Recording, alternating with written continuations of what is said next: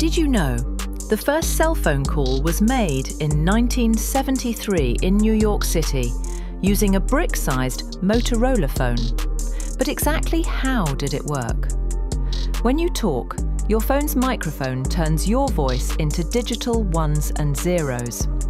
Then the phone's antenna converts that digital data into invisible radio waves, which travel through the air to the nearest cell tower.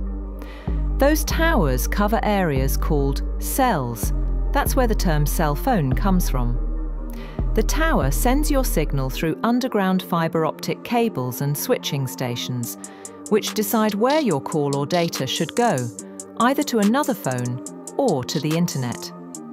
As you move, your phone automatically connects to the next closest tower, so your call doesn't drop. On the other person's side, their phone reverses the process turning the digital data back into sound. And that's the magic behind every call you make. Like, comment and subscribe for more quick tech explainers.